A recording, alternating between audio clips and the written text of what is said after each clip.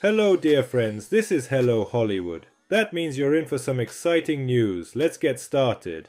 Travis Kelce is pulling out all the stops to celebrate girlfriend Taylor Swift's 34th birthday this Wednesday at her beloved New York City. The pop sensation was born on December 13, 1989, in West Reading, Pennsylvania. The Kansas City Chiefs star is determined to throw his girlfriend the best party possible, with no expenses spared. An insider revealed to US Weekly that the intimate celebration will take place in New York City, and Kelce is orchestrating a romantic dinner for just the two of them. While Kelce aims for an intimate evening, he's also working on a semi-surprise party involving some of Swift's closest friends. Now that the couple having been together for about 5 months, he wants to ensure Tay-Tay's birthday is unforgettable. Friends close to the couple suggest that Kelce is sparing no expense to create a memorable birthday experience, showing his deep affection for the Grammy-winning singer.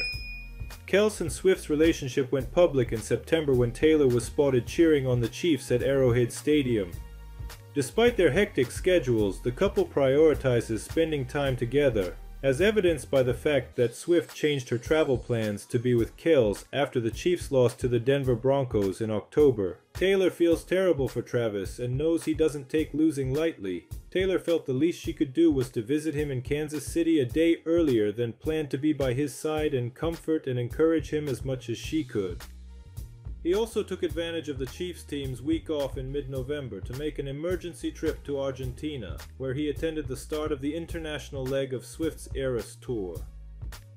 Their relationship began shortly after Kelce attended Swift's Eras Tour performance in July. The couple kept their budding romance under wraps, and Swift recently confirmed in her Time Person of the Year interview that they have been seeing each other since July. The NFL star previously attempted to give Swift a friendship bracelet with his phone number during her concert in July, marking the beginning of their connection. The birthday celebration is expected to be an extravagant affair, reflecting Kelce's commitment to making Swift's day special. As the details unfold, fans eagerly anticipate glimpses of the couple's romantic celebration in the heart of New York City. That's all dear friends, share this video and leave your comments. Bye bye.